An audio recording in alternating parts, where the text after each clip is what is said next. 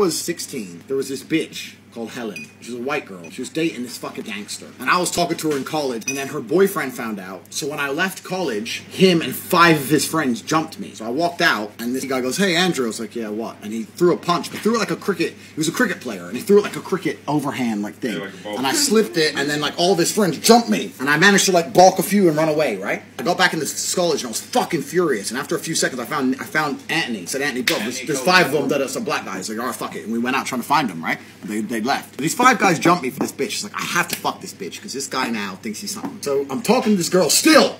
To tell him, come again. Da, da, da. I knew he was gonna bring like 20 guys, so I had like my black friends, and we had this race war going on. Eventually, about three months later, I had a break between four, 12 and 4, but it was an hour walk each way to and from college. And I convinced her to walk back to my house. I'm with Helen, we're in my room, right? Everything's good. I'm kissing Helen, da, da, da, about to fuck Helen, and my phone starts ringing, and I'm like, "Ugh."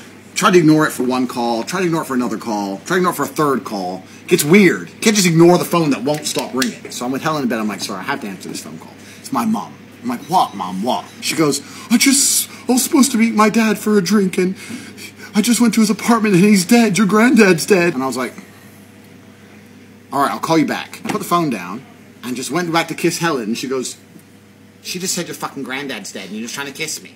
And I was like, I was like, I was like, well, bitch, he's dead now.